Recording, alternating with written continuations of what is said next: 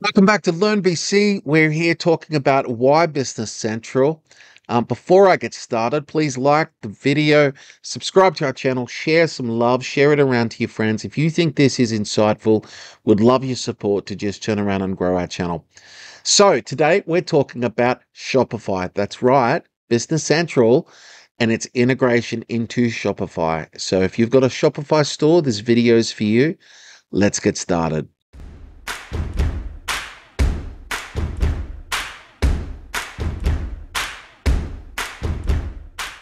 So, for those who don't know, Microsoft Dynamics Business Central is an accounting system. It's effectively above the tier of your Xeros, your um, QuickBooks, your MYOBs, um, accounting systems. It actually steps up into the SAP and Navision. Um, is is originally its name. Uh, born out uh, early 1983 or something, and then Microsoft acquired it and made it famous in early 2000s. And since then, they've invested billions and billions of dollars into growing this product. This is what they got rid of all of their accounting systems and chose one of two, being finance and operations or BC. This is the small business tool of choice and it wins the awards. It has the biggest investment and um, it's got the highest rate of innovation. So you can get to uh, look about this by just Googling Business Central or go to dynamics.microsoft.com and you'll be able to end up here by just looking at the products and small to medium business, Business Central. All right. So we have our demo company. This is what we used in our prior videos in the series. We, we spun this up. We spun it up in a couple of minutes. Okay. Now we're going to show you within 10 minutes how to have a Shopify store online. Okay. Which is really, really cool. Per my last video, we actually went in and created some items with some Copilot text. Here, just for a refresher, I've got an Athens mobile pedestal and I've got a picture, some attributes, some descriptions, and I'm going to use Copilot to create my marketing text for Shopify.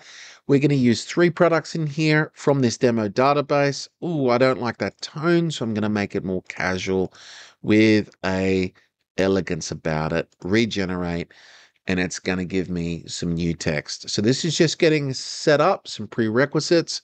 The other thing I'd say is make sure you're logged into Shopify in your browser. Add a touch of timeless elegance. Okay, we're going to save that. Just remember that for when we sync this. Okay. I'm logged in as an admin to Shopify. I'm logged in as an admin to BC. We should be able to do this now straight out of the box. Let's go in. Shops, we're going to create a new shop and I'm going to call this online. The next thing you need to have is your Shopify URL. You can't use the store web DNS address. You actually need to use the Shopify ID. We're going to hit enable and this is going to kickstart the authentication. I'm going to hit accept. There's a pop-up window going to appear and here is the app to install to my Shopify Microsoft Dynamics 365 Business Central. I hit install. There we go. And we're up and running. So we're going to go through some basic config here, which is your locations and your shipment methods. Let's go do that. Get my locations. And it's going to be my main location. It's my default. And I want projected available balance at today to be the balance it shows on the site. I'm going to go back into shipment method mapping. And here it's pulled in the methods and I'm going to make these all delivery. Okay. Just for the purpose of today, this could say Australia Post, this could say um, Toll, and I can change that to Australia Post and Toll within the mapping of Business Central, which is pretty cool. All right, let's now configure how it's going to behave with all these options. I'm going to try and make it quick, but you can check out the, uh, I'll include in this the, the help files on Business Central setup from Microsoft in the notes of the video down below. All right. We're synchronizing items to Shopify from BC. We auto create unknown items. Shopify can create, can update, or BC can update Shopify. You can only do one or the other. Okay. So we're going to update Shopify. If we were getting items from Shopify, we would use this template. We're going to synchronize images to Shopify include extended text, marketing, and attributes. And I'm going to allow item number plus variant code if it exists. So that's my item. My pricing, I have to have a price list. I have to have a discount group. I'm going to go down further. With my customer synchronization, I synchronize with order import. We map them by phone and email, create unknown customers using this default template.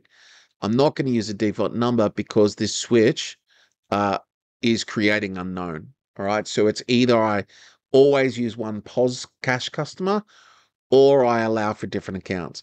Shopify can update BC or BC can update, update Shopify. So it's the same as the items. I would prefer that the customer can update their account and then it will synchronize through. This is how we do some tracing. We go down to order synchronization, auto sync orders. We're going to do freight. And I don't have an account for sold gift cards or tips, but I'm going to just use the same GL code for this example. And the reason being um, why this is here is you can actually hook up Shopify point of sale. You can synchronize that through uh, Shopify through to Business Central for transactions. Shopify order number in the description. Uh, I'm not going to auto create anything. And taxes depends on where you are, whether this is super important to you. For the US, it's huge because of your federal, state, region, and city, providence, etc. For us in Australia, I'm just going to use ship to, sell to, bill to, and leave the rest of my settings as they are. Now, in principle, we're ready to go. So let's go in related and let's go add a product. Now I've got a few products that I've got their ID of. If I hit add items and I don't put an item number in here, it's going to search every item. So it's going to add every item and I'm going to sync inventory and images and I just hit OK. Gone. So let's now go the next item. Add item. So I'm going to do three items just for our store demo for today. It's Paris guest chair. And I'm going to do one more item. Okay. And so down below, if you've got variants, this gives you the capacity to turn around and handle your variant mapping. So against the product item, if you did have variants, it'll allow you to then map 15 variants back to this one particular item and its associated variants, or you're using the separate items, etc., which is pretty cool. All right. So Business Central Shopify is in principle up and running. If I go in, I can see products. I got products with images already out of the box. Catalog, right? We're seven minutes into the video. How cool is that? The marketing text has come through. The attributes are automatically inserted into the text. Okay. Now, what are some of the gotchas? There's our pedestal. Some of the gotchas. Business Central doesn't have multiple images per product. So a lot of my customers load their images in through a product information manager or PIM, or they will load and use Shopify as the source of truth for the product. They'll make it all look pretty and then they synchronize that product data back into Business Central. Okay. And it only brings in one image with it back into BC because that's all BC is designed for at this stage. And Microsoft is dealing with that. Okay, that's something that they've got on their roadmap for the future. The second thing, I guess, is um, that the marketing text is assumed that it's going to put your um, your marketing text and your attributes in. That comes down to your developer of how you want to actually lay out your template and what you're putting on which particular pages. So really, that's that's as as simple as it is. I've got pricing on here. I've got orders. So I've, I've got the ability to order. I'm going to go in and say, add to cart. Great. I'm going to go continue shopping, catalog, and I want one of these. Add to cart, and we're going to check out. So I've ordered two items on the order. I'm going to put my number in.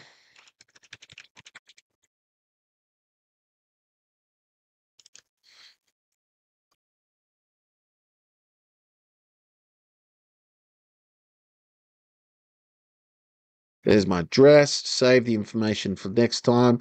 I'm going to use standard freight. Uh, let's do express and I'm going to do bank deposit. Okay, just like that. And complete order. All right, now we've got a Shopify standard receipt out of the box. It sent me an SMS to my phone with the receipt because I used the mobile number. I have um, back in Shopify. If I refresh my screen here, you're going to see an open order here. It's already showing you you've got one. F5.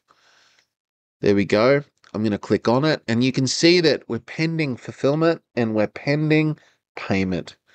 So if I go back into Business Central, I click on Shopify and orders, that order is already here ready to go. If we click into it, it's going to show me the header details that I would need to know. I can see here the lines, I can see payment, I can see the, the, the details here. And the first thing that I want to do is validate payment. I don't want to release an order when I haven't been paid. So I'm going to mark as paid. Now back in Shopify, if I refresh that, it's now paid. So straight away, that was pretty quick. We can create the sales document, but before I do, you've got risks that you can use. You can check, you can see fraud alerts. You've got transactions, which is to do with the reconciliation of the finances, the shipping costs, fulfillments, and related documents. Okay. And I'm going to go create sales document. Now, because I've said automatically create the customer, it's already created the customer and I create the order. So the order now exists. You'll see one order over here. I can go order, sales order, and here we are. We're in a sales order ready to go. Okay. So the sales order, I might want to go 1010 as the document number. I may want to check the, the, the shipping details and I may say, hey, no, um, before I send this to the warehouse, I'm wanting to use uh, DHL and um, we might use them and I'll use a standard freight for this order. Um, depending on what freight system you use, it will automatically put back in here the tracking number, but just remember this number for later. Okay. And what we would want to do is we'd want to release this document. So it's done, would create a warehouse shipment and your warehouse would have, uh, if you're using picks, you can go a layer further and then print a pick. The pick gets completed and the shipment relates to your connote from your freight vendor, okay, which would be DHL in this instance. All right, so I've confirmed here I might only ship one of the items or both. The quantity to ship is one each. I'm happy with it. I'm ready to post the shipment. As soon as we do this, we go ship an invoice. We're done.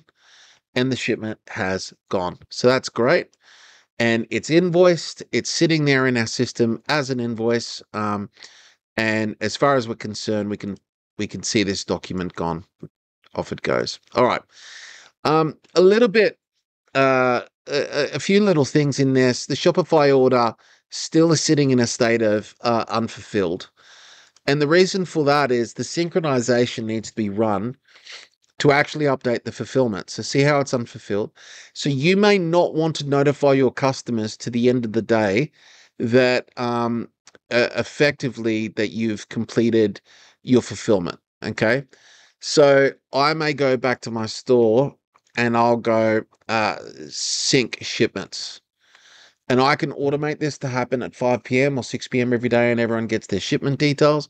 You might want to wait till Australia Post or DHL come and pick up that shipment. As soon as I hit that, okay, that's done. The order is now fully fulfilled. I didn't even have to update the screen. That customer has now received a tracking number, okay, and that tracking number would use DHL's tracking details, just there like that. How cool is that? So that's Business Central. The setup took less than 10 minutes. It took us another maybe five minutes mucking about with an order but like within 15 minutes, man. That's really, really cool. What a cool setup that you've got there with Microsoft. And that allows us to have multiple locations. I can have multiple warehouses. I can have multi store. I can have one Shopify store with multiple locations. I can have multiple stores against multiple locations. Um, you can do basic, advanced, and super advanced inventory that rivals the top of the industry. Okay. We've got big warehouses the size of Bunnings Warehouse that use Business Central for managing all of their inventory. So this platform is jam packed. Shopify to Business Central. Thanks for watching. See you next time.